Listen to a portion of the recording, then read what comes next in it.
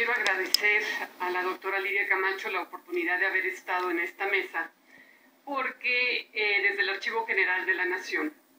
nos permite ver que tenemos que incorporarnos también a redes del conocimiento que se dan a través de los archivos sonoros y de los archivos audiovisuales. Si a la magnitud de estas redes de las que nos ha hablado el doctor Ojeda le añadimos el extraordinario patrimonio documental que tiene México, pues entonces las posibilidades de avance científico, artístico,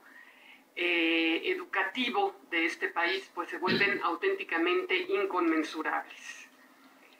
Eh, ojalá y podamos establecer vínculos entre los archivos sonoros y audiovisuales y el patrimonio documental de este país.